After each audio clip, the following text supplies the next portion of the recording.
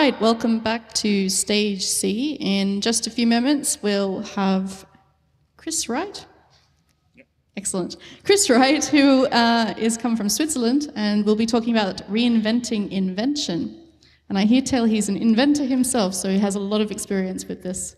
So thanks very much, Chris, and please, round of applause to welcome Chris.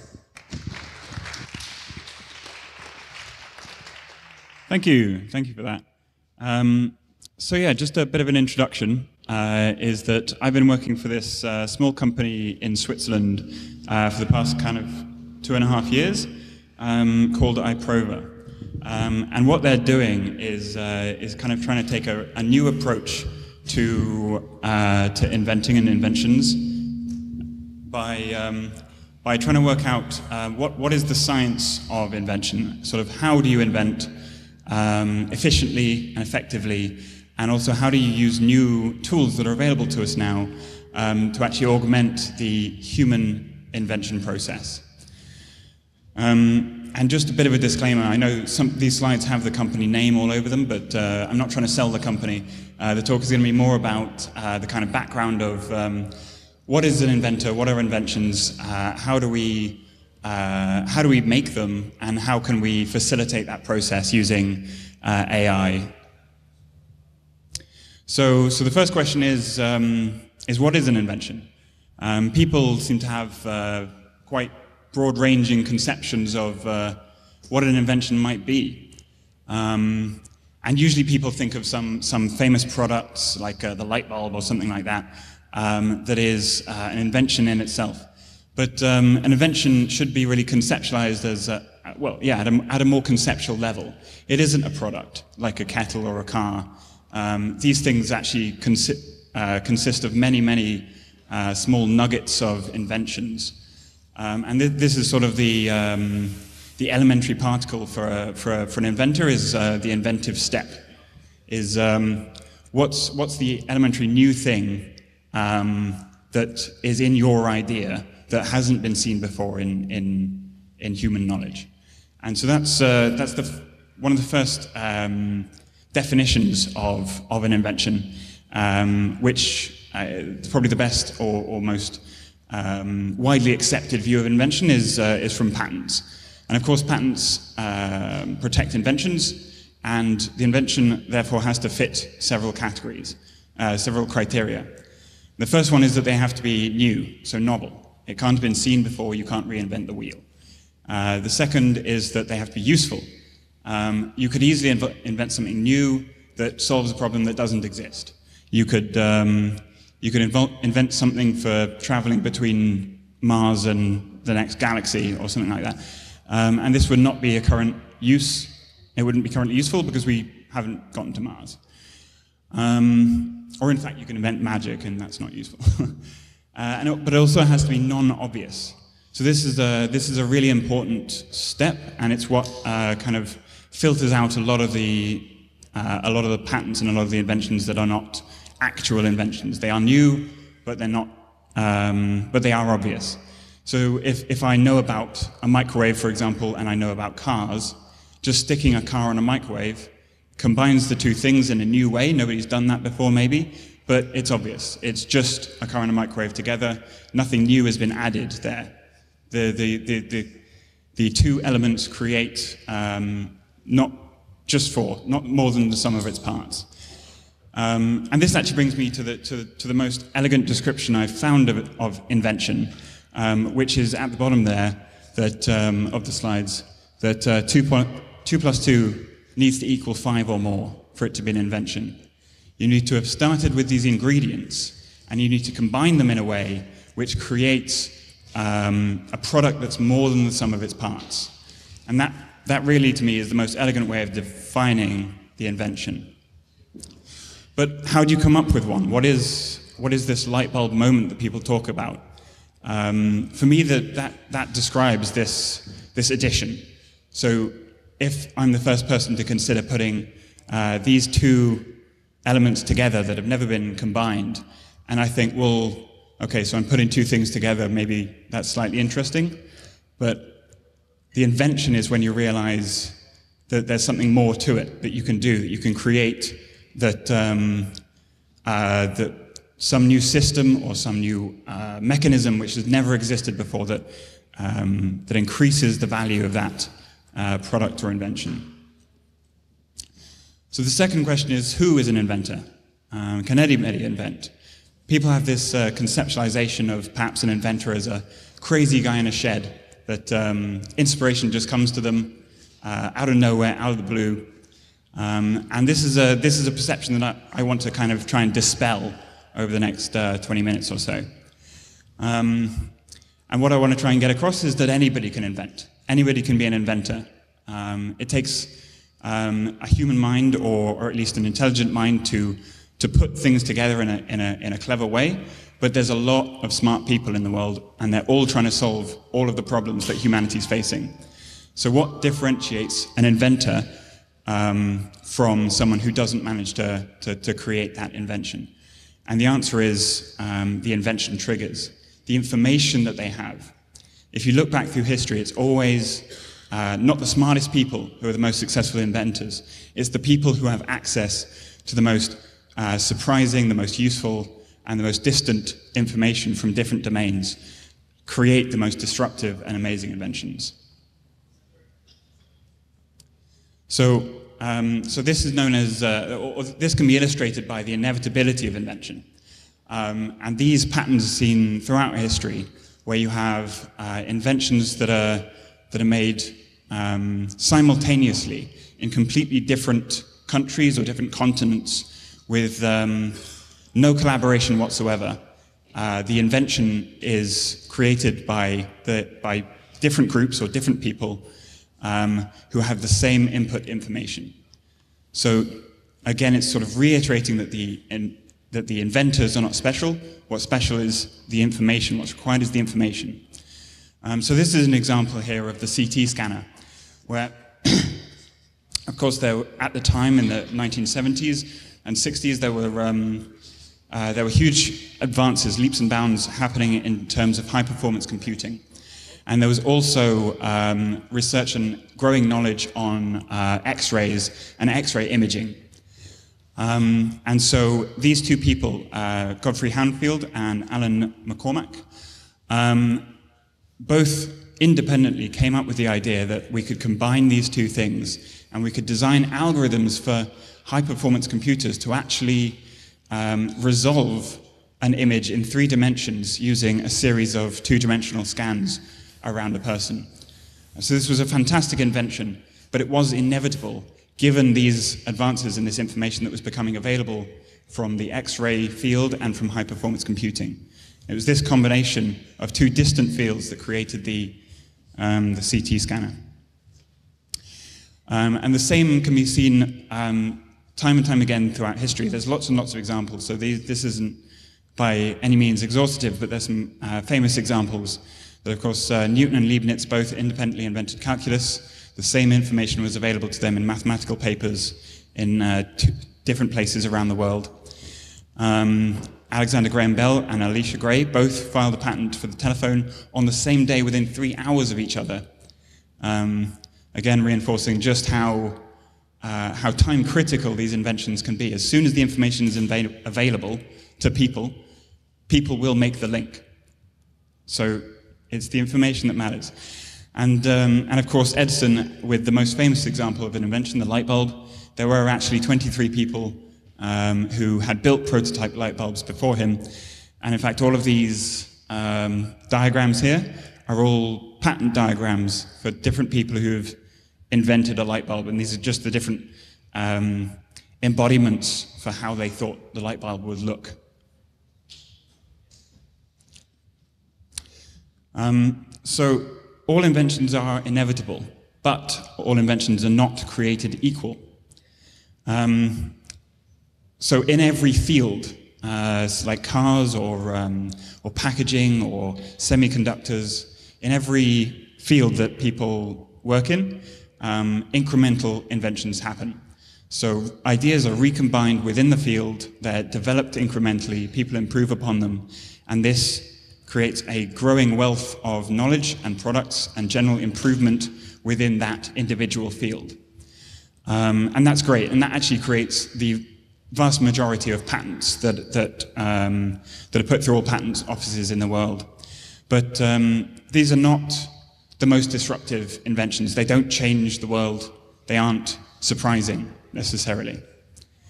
Um, so actually, it's been found by a lot of different studies and observed by a lot of famous people that the most disruptive inventions actually happen when um, insights come from very different areas, very different technology areas or knowledge areas, where you get surprising or unexpected um, insights uh, from, a, from a completely far off area, and you're able to make a link between two very disparate areas uh, that nobody else could because you were the only one with that combined information.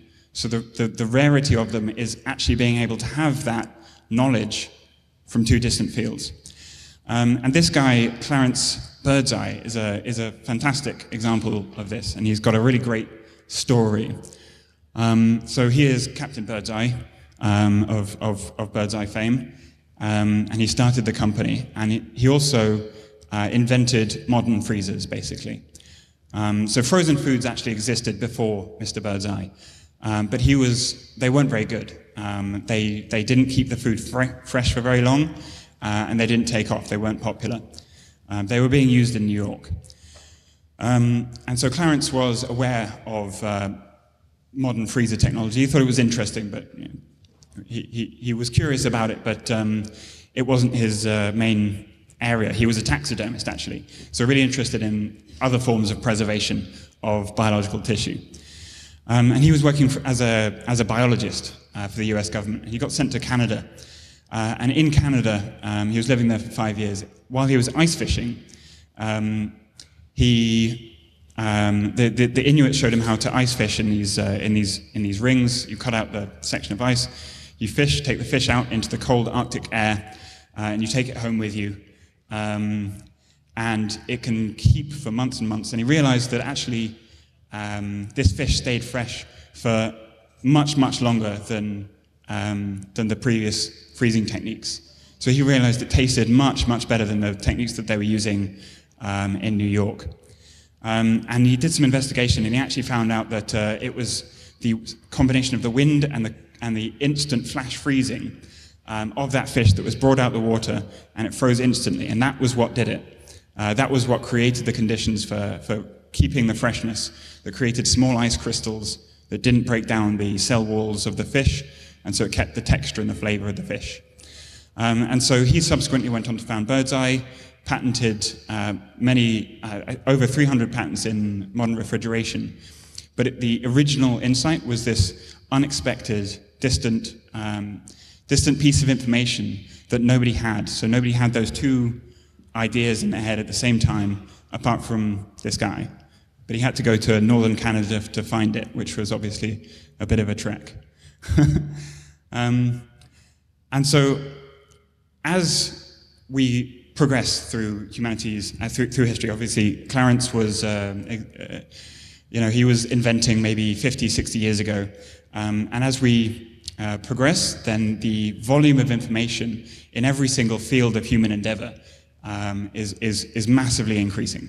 So just the amount of information that's out there, the amount of ideas, products, mechanisms, uh, tools, everything is just, it, it, it's huge and it's much, therefore much, much more difficult to make these cross-domain links. So someone who works all their life in electronic switches, for example, is gonna, uh, is never going to know anything about um, gearing mechanisms or something like that. But perhaps something in that um, uh, in that field, in that distant field, would actually be hugely disruptive to, to what they're doing. Um, and at the moment, that process uh, is, is completely serendipitous. Um, and this, this, what I'm describing here, is the paradox of convergence. So as you have more ideas, um, more information, the availability of invention should increase because there are more combinations that are available to, um, to, to create new ideas. Just the more information, the more combinations of them you can have. So you should have more inventions, but the invention disruptiveness and creativeness is going down and down over time. Um, and so, uh, why is this? And the theory is that this is because there's this huge burden of knowledge. That um, what people want is just this knife, but what they are presented with is this huge Swiss Army knife that has everything on it. You don't know what to pick. Um, and so, how do you filter down through that? Um, and the other thing on this slide is, uh, is, of course, the power of convergence. So, wherever we've seen one, uh, one obvious, obvious example of, of convergence and incremental invention is uh, with the car, with the automobile. So, the past hundred years, the car has been incrementally improved, um, getting better and better, um, going faster or further, sounding better, all of that. Um, and then this, a disruptive connection between two distant domains occurred. And now this is what a car looks like in 10 years, after, after 10 years of change. And so this has been a hugely disruptive, massively rapid change compared to the past, past 100 years. And that's the power of converging domains. Um, and so, of course, you also have an increased demand for convergence because people are observing this. It's happening a lot with any technology. Um, uh, with, with, software and AI, it's being applied to absolutely every domain available. But these aren't the only points of convergence. Um, and th this is, uh, so this is uh, just an illustration of how companies are kind of perceive their products and they're afraid of convergence. So they want to be the ones to create this disruption. But at the moment, the process is still totally serendipitous. It, they, it's entirely reliant on good luck. So this analog front end of invention uh, just, just do doesn't keep up with uh, the ability that, that should be there to create points of convergence between domains. So the obvious question is, how can AI help? um, and what we know about AI is that, oh, sorry, wait, no, I've missed a slide. Um, just to highlight the uh, the, the, kind of drive behind what actually set up the company that I work for is, um, is this realization that we live in a completely digitally driven world. Data is everything.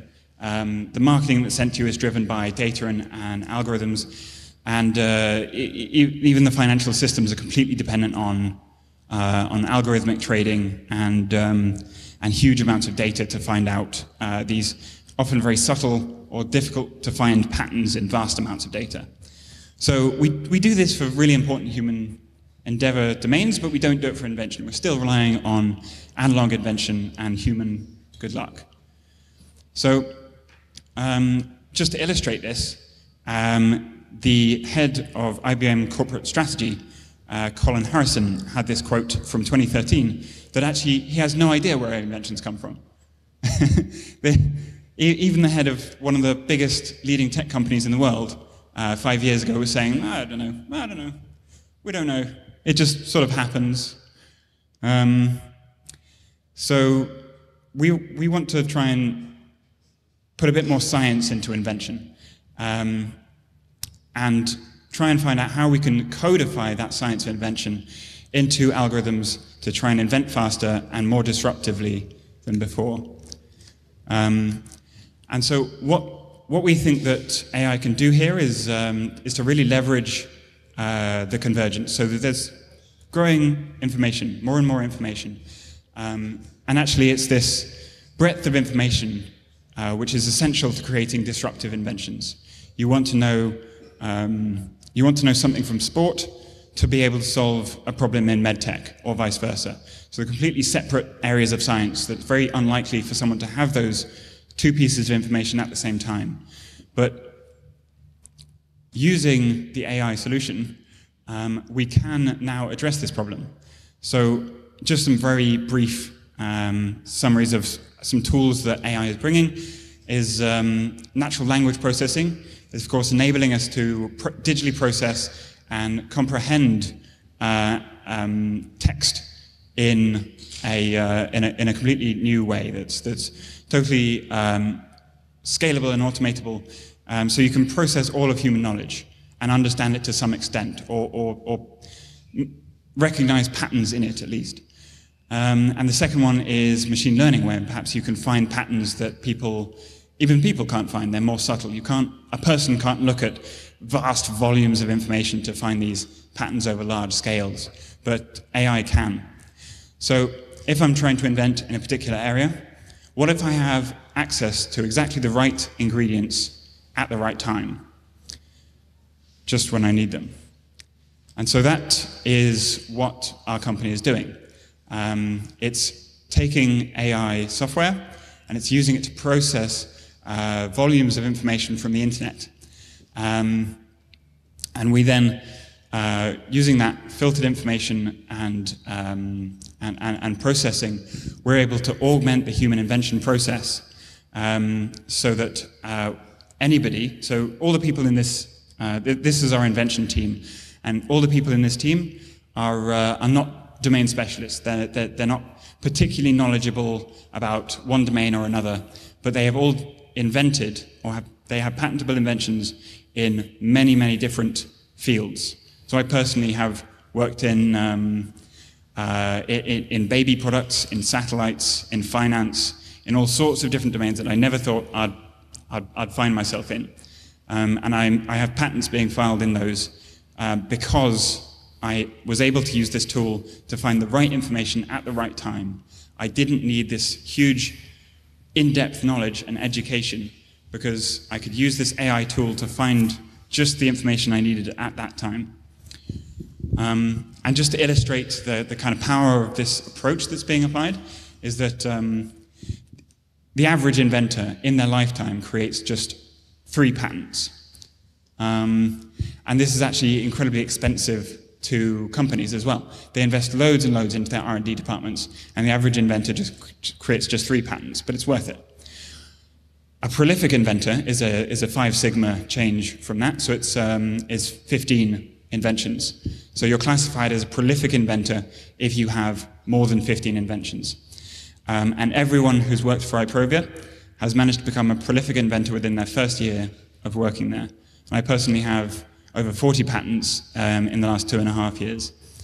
Um, so yeah, just to sum up, that um, using these data-driven invention tools, we can really uh, massively augment the invention process and move, um, move invention into the 21st century um, and change it from this analog process to a really data-driven um, process. So thank you.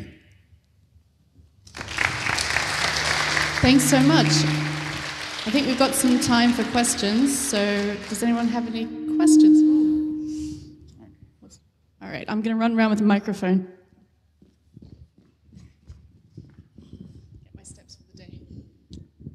Uh, hi there. Um,